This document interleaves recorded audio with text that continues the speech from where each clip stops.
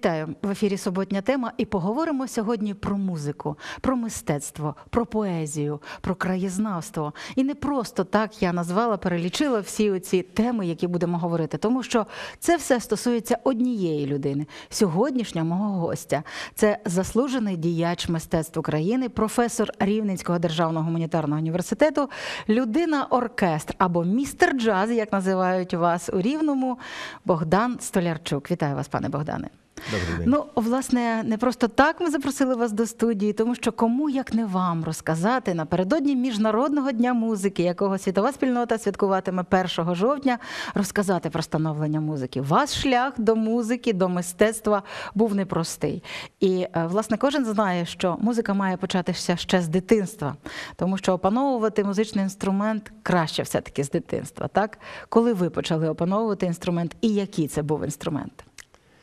Ну, шлях до мистецтва складний, це впродовж життя. Ти вчишся, вчишся, працюєш, тому що удосконалюєшся, це іначе не можна, якщо не будеш е, щоденно чи там часто володівати інструментом, будемо так казати, займатися, то це іде на нівець. Все почалося із скрипки.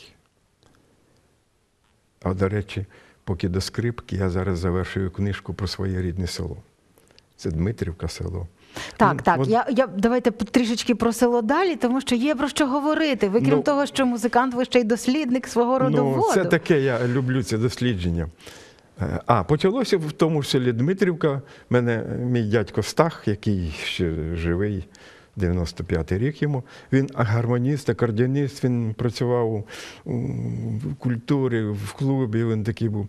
І коли консіліум домашній був, і коли він прийшов, і батько каже, що ж зробити з цим шибеником, куди його? А він каже, в нас тут є скрипаль сільський. Віддай його на скрипку. Порішили. Порішили віддати інструменти. Ну, батько дістав, це був 57-й, 58 роки. Знаєте, це складний період. А батько дістав скрипку. Ну і я почав. Пиляти скрипку, Пиляти. тому що так всі починають.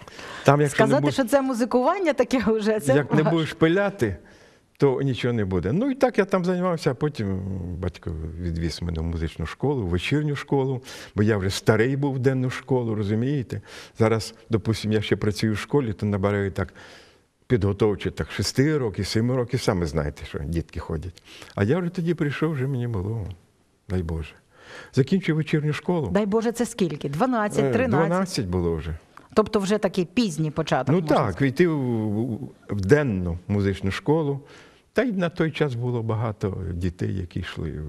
Був набір великий. Ну, А тоді була ще вечірня школа. Вечірня школа для дорослих. Там займалися діти, діти старші, займалися, ну, хто працює на виробництві, хто хоче для себе оволодіти якимось інструментом. Отака була вечірня школа.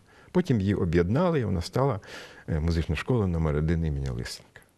Гаразд, потім у вас було музичне життя, музичний шлях продовжується. і Ну, так. служба в армії, і опанування інших інструментів. Ну, було, звичайно, життя вимагає. Життя вимагало. І джаз був, у вашому житті. Чому джаз. рівненський Чому він джаз? був? Він є. Він є. Він є. Це та річ, яка не закінчується ніколи. Ні, Кому зак- Боже збав. Гайдабури ще сьогодні про давай каже, ми повитрушуємо пісок з кишеней. І давай, каже, щось. Давай, поки ще дрик є. Дрик Ну, є. да. ну от така ситуація. Ну, шлях складний, я кажу. Це було музичне училище. Це якраз четвертого курсу забрали в армію.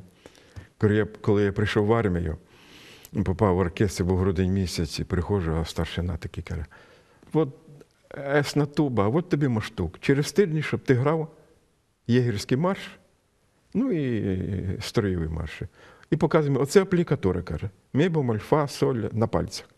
Я так, кажу, товариш старшина, через три неділі, якщо будеш багато говорити, то підеш через день на ремінь. Ну, така служба, треба було це оволодівати. Ну, а згодом, значить, після армії, після армії прийшов, закінчив училище, потім працював в театрі. Театр я любив, бо я ще працював в училищі, коли був студентом в театрі. Згодом там я працював, там мій батько працював столяром в театрі. Ну, так пов'язалося, що. Бачите, на сьогоднішній день театр мені е, допомагає, бо я знав ту кухню зсередини, працював в оркестрі, як була репетиція, як здача, була вистави, як ці всі, ну, вся кухня, як робилася, розумієте? І по сьогоднішній день люблю театр. Поєдналося все: музика, театр. Дослідження родоводу. Давайте про це поговоримо. Ви Я- дослідили, е, знайшли своїх коріння своїх родичів аж близько трьох тисяч. Це не, не проста праця. Такий був Григорій Семенович Дем'янчук, краєзнавець. І я йому вдячний. Він мене завів в архів і навчив працювати в архіві. Розумієте, це ще треба якось так з любов'ю.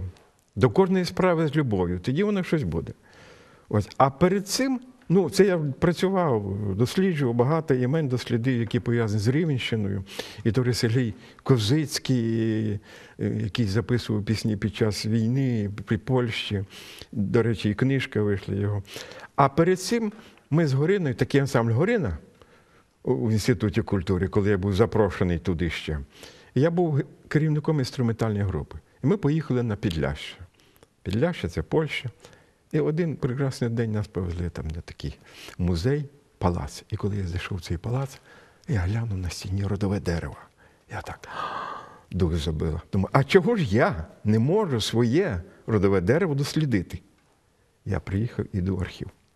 Моя родина по батьківій лінії бере свій початок з Дорогобужа історичного.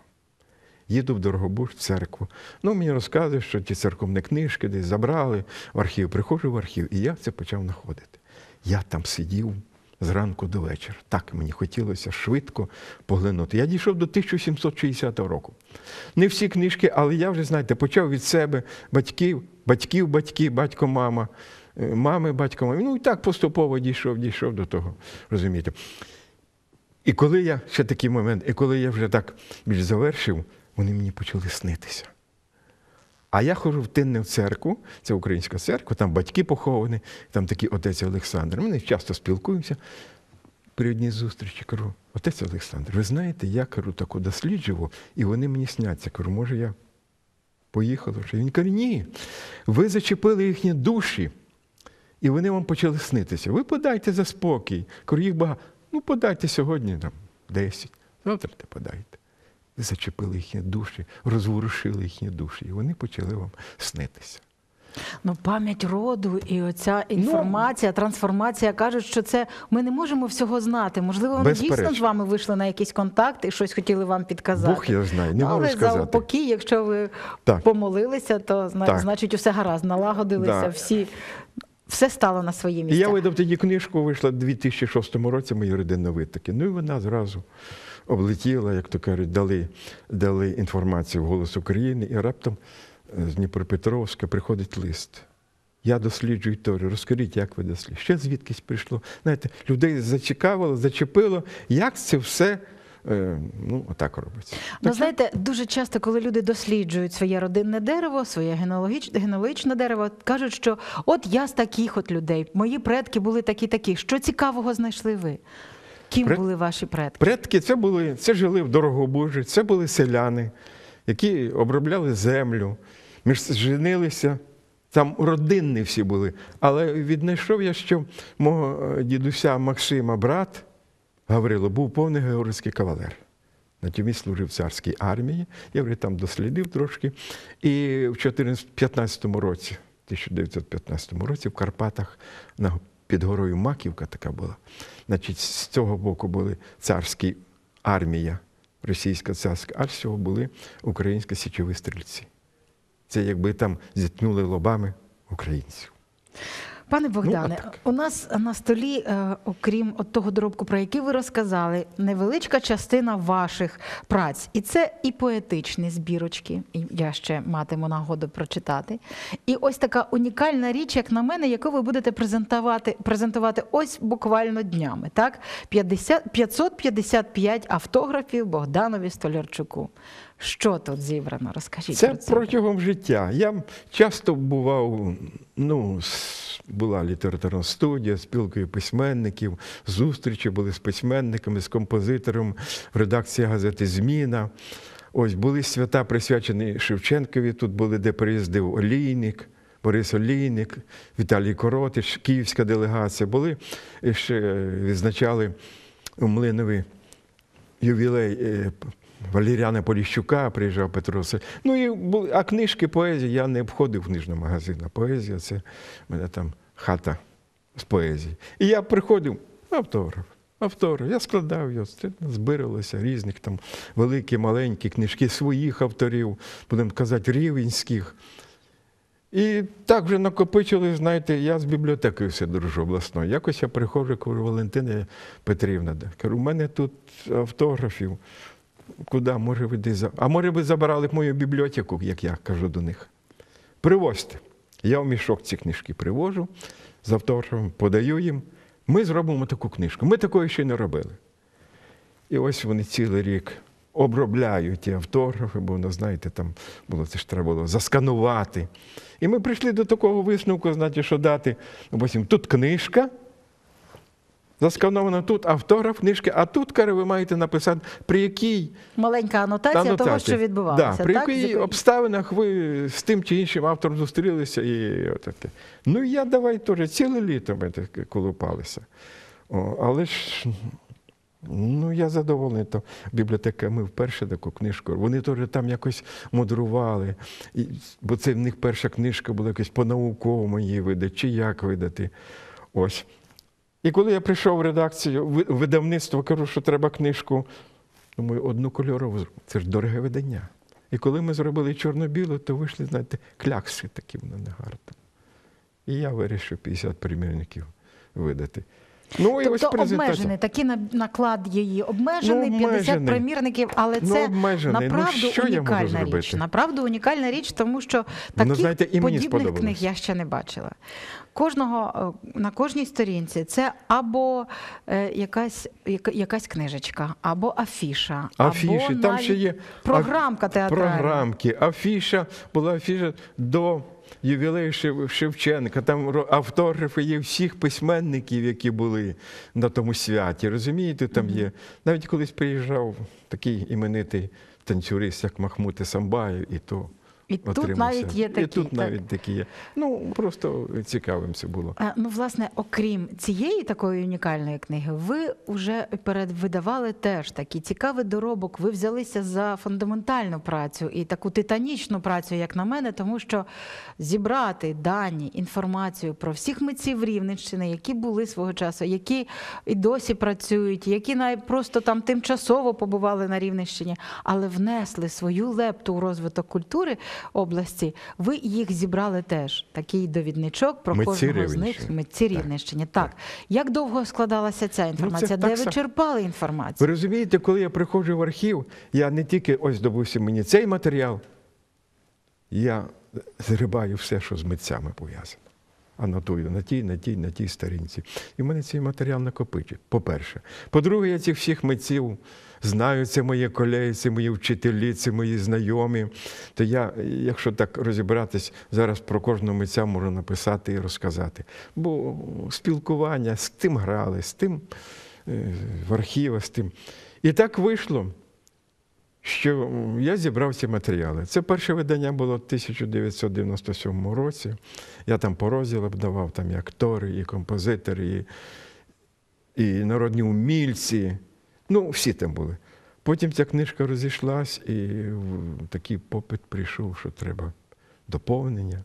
По-моєму, вона в 11-му чи в якомусь році вийшла доповненим. І то вийшла адміністрація, е, забрала цей тираж, роздала по бібліотеках, десь там таке. Ну, а люди просять. Я не маю. Хоча накопичився матеріал на третє видання. Ну, Уже таки, є матеріал на третє Є видання? матеріал, ну є митці, є, є, які заслуговують, які жили тут, які працювали, які вчилися, які причетні до нашого міста, до нашої області.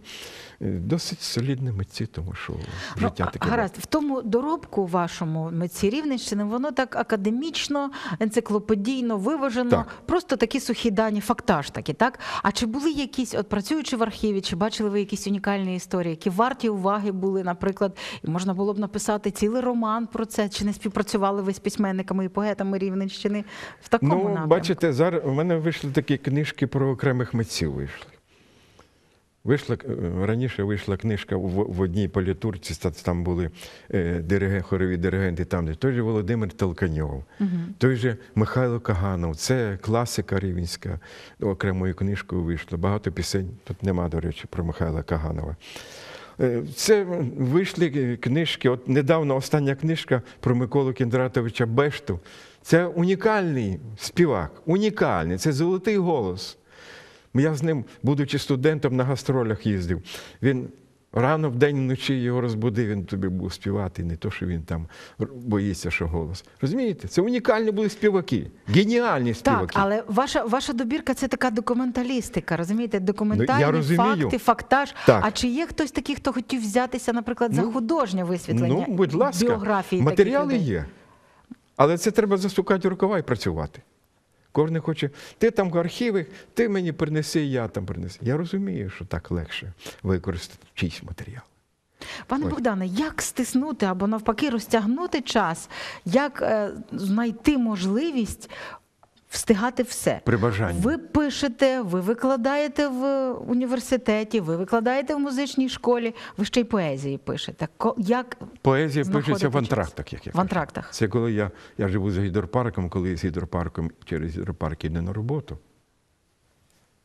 Записую.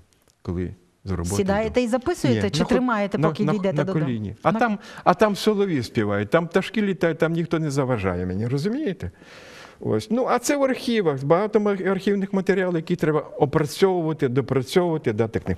От хочу два слова про цю книжку Микола Лисенко Рівнщина. Ми не могли обійти, тому що Микола Лисенко зупинявся, приїжджав до свого, їдучи в Лейпціг на навчання, зупинався свого друга Олекса Петрова в гімназії і був три дні в нашому місті. Є дошка. Ім'я Миколи Лисенко присвоєно музичній школі номер 1 де я працюю. І минулої весни е, я презентував цю книжку в музеї Лисенка в Києві. Ну, не, не, не було не зробити це. Ну, теж був би гріх якийсь. Ну, отак все воно якось пишеться. Розумієте? Невгасима зоря маестро про Богдана Депо. Я з ним грав у камерному оркестрі. Я то кажу, за два дні до його трагедії ми сиділи в залі, слухали там концерт один, якось після першої відділу. Каже, я пішов додому. Ну, я пішов. От так трагедія.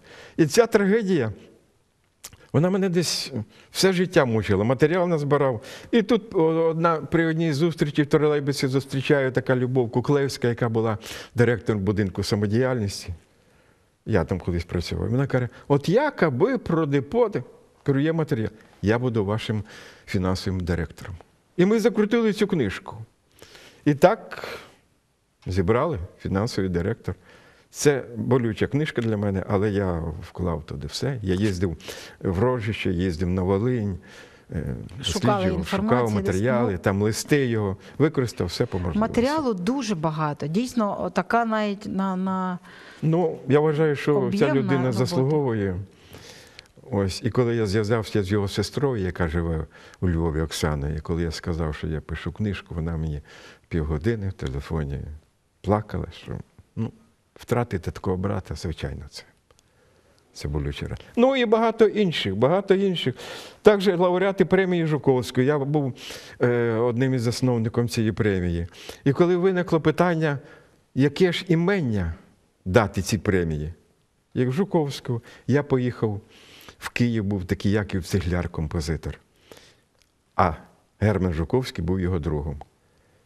І він каже: в Клавдію під Києвом живе сім'я Жуковського. Я туди поїхав, привіз від рукописи, привіз гіпсовий б'юз, привіз документи. І до 90-річчя Жуковського, це був 2003 рік, і ми зробили такий ювілей. Був музей. Ну, прийшла нова дирекція органний зал. Я значить, забрав ці документи і віддав в Радивилів міський музей. Там зберігається все по Жуковському. Ну, от такі, бачите, це все, що пов'язане з нашим краєм. Я тут Америки не відкриваю. Пане Богдане, вашу, ваш унікальний доробок і ваші праці поціновані, правда? Гідно, мені здається, поціновані, тому що і музейники минулого року до вашого Так. ювілею, 70-річчя, скажу таке. нашим глядачам, хоча вам зовсім не скаже, що вам стільки літ. Вони, Приємно почути. вони влаштували виставку. Вашу виставку, ваших робіт, ваших, вашої поезії, ваших документів. Скажіть, е, що прийшло, пішло на ту виставку, і чи все, що хотіли показати, там було показано? Ну, вперше хочу сказати, що я вони мене чупли до того вже чупли, що я зібрав у валізку всі документи, всі афіші, там мішками і віддав. Кажу, вам це все. Вони використали всі документи, я все віддав туди. Там і афіші, там і книжки, документи, всі, які пов'язані. Вони зберігаються там. Не все, звичайно, фотографії, не все. Але вони е, дуже гарно зробили виставку, мені дуже сподобалось. Я навіть віддав свій дембельський кітель з нагородами. Ну, відносними нагородами. Пане Такі. Богдане, е, що вам дає натхнення? Ви кажете, що поезія пишеться, коли ви в антрактах, так? коли ви йдете через парк, чуєте спів солов'їв. А що вас надихає на отакий, ну це титанічна праця? Та не титанічна яка праця. Я йду, спокій в парку, чи шум парку, чи пташки співають. Вже рядки народжуються. Що йде, чи я ранньою ранньою весною йду. Чи пізно-пізно я йду восени. Я люблю дуже осінь. Дуже люблю. Я її усі пори року люблю. Вона в моїх віршах, як то кажуть, відобразилася. Ну, так пишеться. Зустрів, вас зустрів. Ви мене надихали, коли ви прийшли до мене в школу. Ну, десь виліться в якесь. Отак зустріч з людьми, з цікавими. Хтось цікаву історію сказав, хтось. І так воно приходить. Я е, не можу не зачитати коротесеньку поезію з вашої нової книжечки. А час летить, а час не лічить днів, мов кимось сполохані зненацька коні. І часто ввижається мені, що я за ними кожен день в погоні. Чому саме цей? е, Цю поезію я зачитала. Ви в одному з інтерв'ю сказали, що дуже любите коней, жінок і, Самотність. і самотність. Чому самотність? Хіба митцеві треба бути самотнім? Хіба Ну, творцеві треба бути самотнім? Треба іноді, щоб самотність була. Навіють думки, прожити, пережити. І тоді воно десь відкладається, без цього неможливо, розумієте? Ну, мабуть, не так самотність, як усамітнення, аби Ну, могти творити, тому що ви абсолютно не самотні. У вас стільки знайомих, Ні, стільки ну, друзів, я, не, студентів. Я не про ту самотність сказав. Самотності немає, звичайно. Я приходжу, в мене і студенти спілкуюся, і, і півміста, і місто, як кажуть, знайомі, друзі, колеги, з якими працював, працюю, з якими вчився. Це ж така життя пройшло в цьому місці. І все ж тоді, давайте ще так наостанок про нашу тему розмови, про музику. Чи повинна музика бути у житті кожної людини? Кожної. І що дає музична освіта дітям, які навіть не пов'яжуть далі своє життя з музикою? Я вважаю, що я в школі працюю вже так більше 40 років. Так. Я вважаю, що для дітей обов'язково треба музична освіта. Хай вони не стануть професійними музикантами. Хай вони там, можливо, не дотягують десь свої слухові такі, але треба дітей віддавати. Він потім згадає і скаже вам спасибі, що він чув, що там музика є Баха, що він чув, що музика Лисенка є, що чув, що є народна пісня така. І він потім використає в своєму житті. Він буде багатший духовно. Він не буде бідною дитиною. Він зустріне свого колегу, який вийшли зі школи, той, який не ходить в школу. Він скаже, от я там те, такий інструмент. Так... А той каже, а це що таке? От для чого музика. Я вважаю, що 100%. От, е, Андрій Старченко, наш ученик, і це, як то кажуть, е, є в мене книжка про В'ячеслава Старченка, який конкурс проводив я. І він каже, в Німеччині він працює. Всі діти на першому етапі навчання вони знайомляться з музикою. Вже далі професійно, як вони пішли, це інша річ, що в кого тут, як хто музично. І я радий, що музична школа діє, вона повинна діяти. І повинна бути більшість дітей. Хай вони приходять, вони грають в ансамблях, вони співають в хорах, вони в оркестрах, вони самі виходять на сцену. Вони артисти. Мене такий клас, бо я веду клас контрабасу і бас-гітари. Починаю з бас-гітари, і така підставочка, як сцена. А там люстра. Кажу, Ось ти на сцені вже граєш п'єсу, ти виступаєш. Ти артист уже настроїш його. На сьогоднішній день Це обов'язково.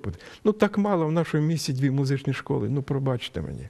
Дуже мало і І останнім, одна художня школа це і останнім часом, на щастя, попит на музичну освіту дуже зріс, якщо можна так сказати, тому що вже доволі таки стабільно відбувається конкурс, конкурсний відмі- відбір дітей до музичної школи. особливо Якщо на такі бажання. інструменти. Фортепіано на гітарі йдуть. Ідуть на гітару всі хоч. Але дай Бог, що вони йдуть. Хай йдуть. Хай буде музика в житті. Хай буде, хай буде. Це ж прекрасно. Дякую вам, пане Богдане. Хай буде музика в житті і у вас, і у всіх наших глядачів. Нехай у день музики лунає лише мажорна, радісна і приємна музика, хоча потрібна і мінорна. Такою була наша розмова. Такою був сьогоднішній гість суботньої теми. Дякую всім, що були з нами до наступної зустрічі наступної суботи. Спасибі.